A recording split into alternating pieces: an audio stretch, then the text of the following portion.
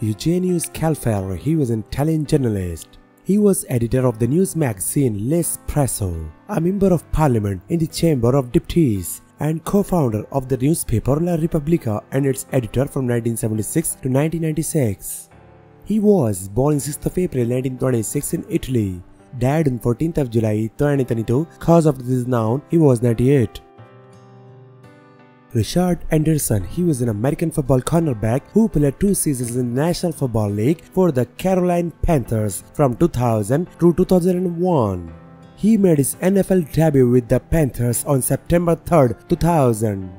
He was born on 14th of June 1977, died on 13th of July 2022, died from a prostate cancer. He was 45.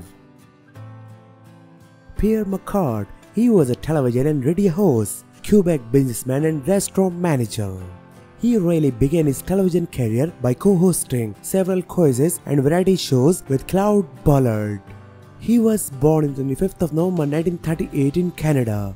Died on 13th of July 2022, died after he was struck by a car. He was 83.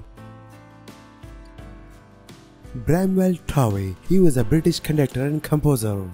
He was appointed as staff conductor of London Festival Ballet at the age of 22 years. He was born on 11th of July 1953 in England. Died on 12th of July 2022. Died from cancer. He was 69 years old.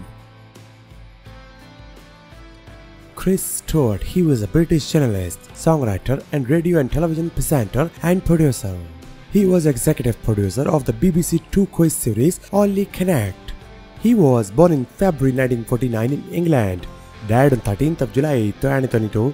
Cause of death is unknown. He was 73 years old. Charlotte Valandrey, she was a French actress and author.